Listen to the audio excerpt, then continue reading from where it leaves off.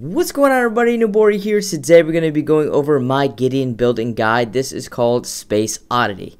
We got a health potion, two cast token, a mana potion, Solaris Reactor we have two, Shadow Ward we have two, Elder Mage Amulet we have one, and a Magus Ward. First off, we're going to start here with two cast tokens and a mana potion. You can also use a health potion if you see fit. The first skill you want to get is Cosmic Rift. This would be a great long range poke early game, and as you can see here, boom, 102 damage. Damn, dude, what the hell are you swatting at? Almost three minutes into the match, we see that enemy team Khaimera is trying to steal our jungle. That cheeky little bastard. Well, cheeky all over this. I'm going to hit you with a burden, hit you with the Cosmic Rift, and we're going to back up so you can't hit me with your Unleash skill. As my teammates get pushed back by the enemy team Howitzer, I'm going to hit one more time, and we're going to take him out for that first blood. Ooh.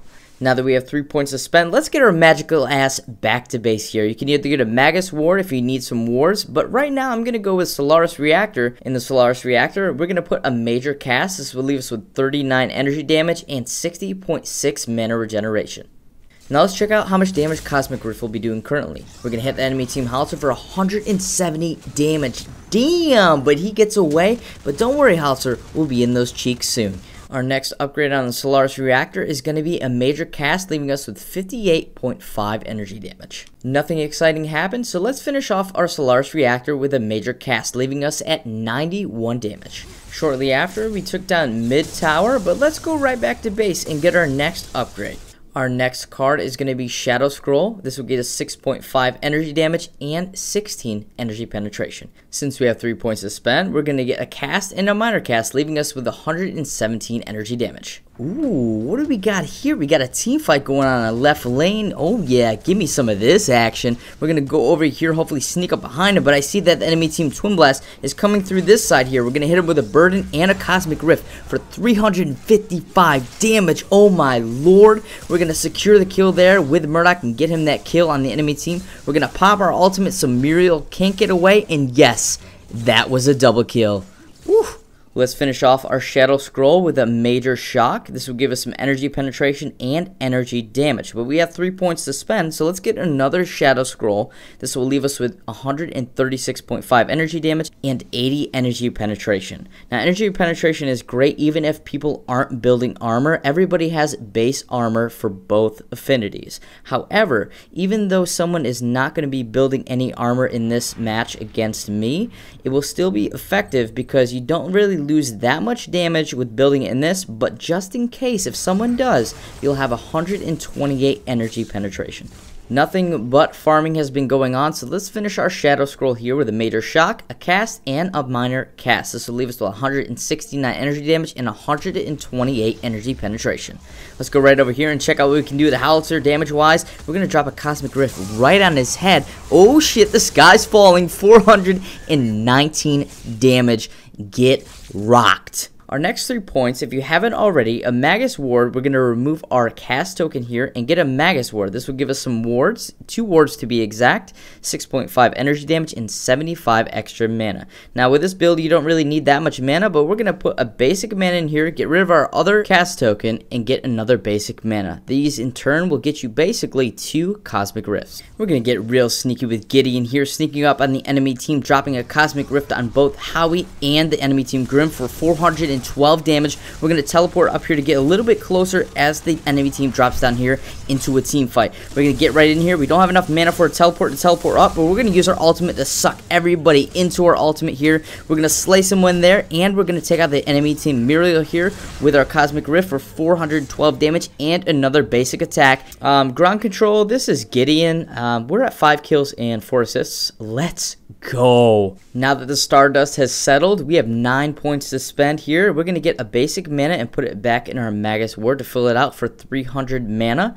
Next, we're going to get our other card here. I'm going to start building some more damage here with Solaris Reactor. If you need be, you can actually start your Elder Mage Amulet if you need health at the moment. But in this, we're going to get rid of our Mana Potion. we're going to put one of our major casts in here and another major cast, leaving us with 214.5 energy damage. Our right side tower needed some help as the enemy team was pushing this lane. Twin Blast is going to back up here, but we're going to play Ring Around the Solar System here with the enemy team Howitzer. We're going to drop a Cosmic Rift on his head as he gets shielded by Muriel for 325 damage. Goodbye, sir. We're going to keep chasing down the enemy team Muriel here. We're going to stop her dead in her tracks as she's running away. She's going to take a look back. Bad choice.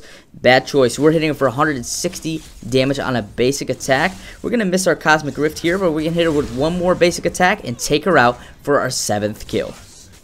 Shortly after, we found Twin Blast with his pants down as we're waiting in the invisible pool. We're going to hit him with a Burden to slow him down, drop a Cosmic Rift on his head for 464 damage as our teammate takes him out. Let's go. That was dirty as we're pushing this tower. We're going to eventually take it out. I'm hitting it for 163 damage as the enemy team converges on our position here. I'm going to drop a Cosmic Rift right here for 464 damn damage as I pop up and get my ultimate going on. Hit all three of the enemies here, slow them down as my teammate takes out the tower. Thank goodness I'm going to hit the enemy team Halter with a burden to slow him down and a basic damage there. Take him out. I missed my Cosmic Rift on Muriel. Teleport forward as a teammate takes her out.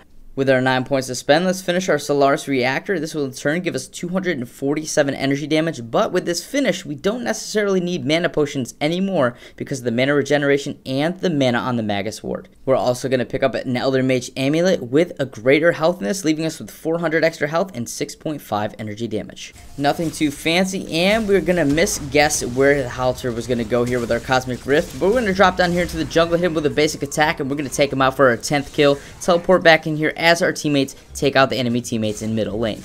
Last but not least, we have 6 points to spend, so let's finish off our Elder Mage Amulet with 2 greater health to leave us with 3,000 health. Shortly after, the enemy team surrendered, but we got to finish our build, so it is a good day. If you guys enjoyed this video and want to see more Paragon content, be sure to drop a like so I know to do so. If you guys are new to my channel, be sure to subscribe so you guys know when I post new content.